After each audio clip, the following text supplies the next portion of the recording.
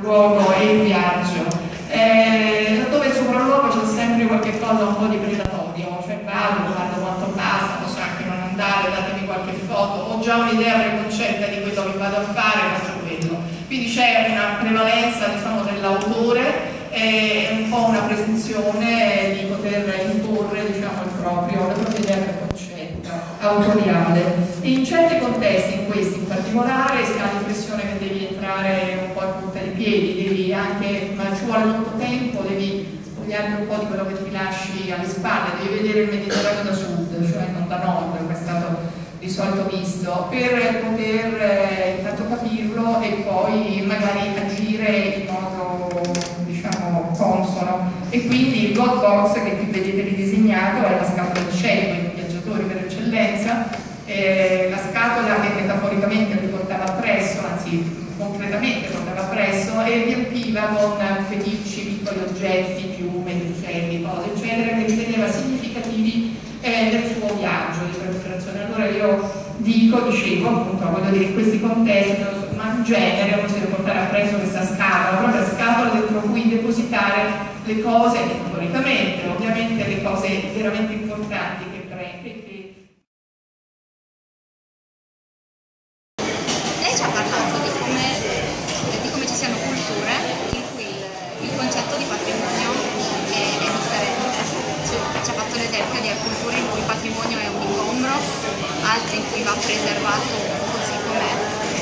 E la nostra domanda era un po' anche curiosità, come si deve comportare l'architetto nel momento in cui entra a contatto con queste culture? Sì, è una buona domanda questa, vero, perché uno arriva in questi contesti pensando anche alla propria esperienza, alla propria cultura, diciamo, supponendo che quella cultura sia più avanzata, diciamo, pensando, quindi arrivando con un atteggiamento, se vogliamo, paternalistico, che ti porta alla scienza, dove ma eh, forse secondo me un contributo corretto è quello di favorire la conoscenza, quindi favorire la conoscenza di beni, di diciamo così, che eh, sono eh, trascurati, non letti, non conosciuti, quindi può fare questo in qualche modo, questo può essere un contributo.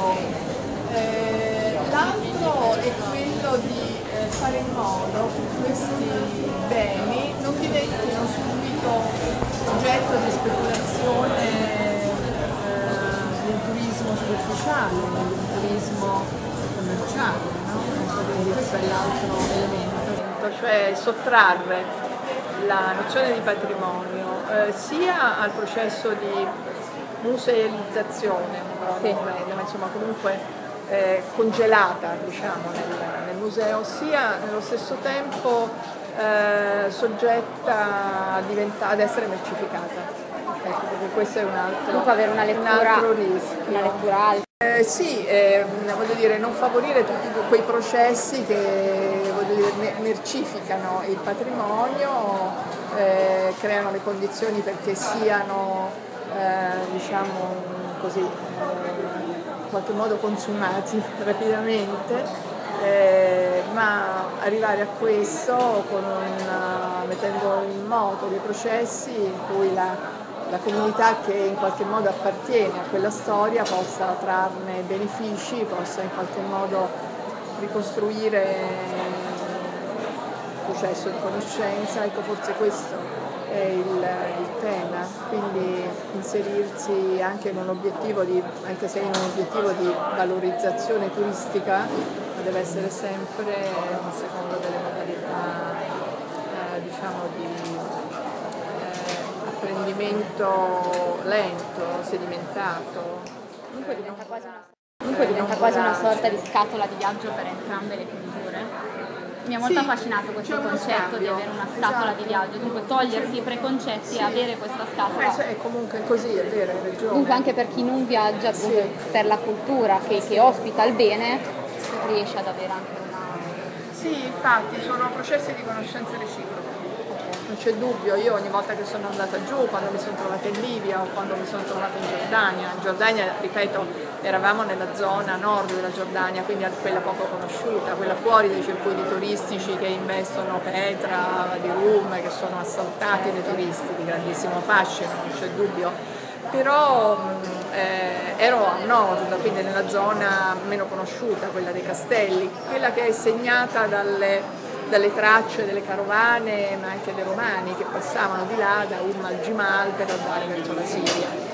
Quindi eh, quella parte lì eh, è poco conosciuta, è poco conosciuta dagli stessi eh, giordani, gli stessi giordani è poco conosciuta, è poco valorizzata. Quindi eh, è stato un processo di conoscenza indubbiamente reciproco. Io sono andata lì e ho, sono andata in una condizione di apprendimento, oltre che di messa a disposizione di competenze.